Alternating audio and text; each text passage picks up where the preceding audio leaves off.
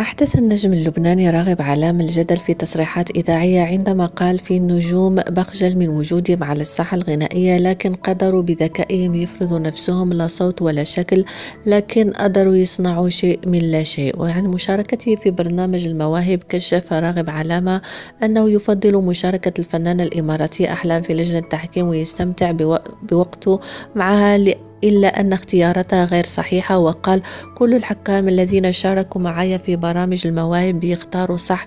إلا أحلام بس بحب تكون معايا بتسليني هي طيبة.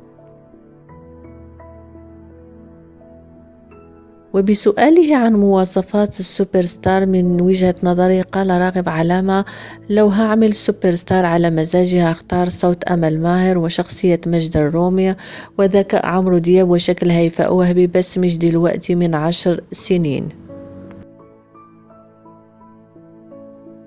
وقال عن ملحم بركات مسكين كان نفسه ينجح بمصر ولكن ما نجحش وكان بيحاربني لأني أغني باللهجة المصرية وحاولوا سحب الجنسية اللبنانية مني. أنا ملك الرومانسية وليس وائل كفوري.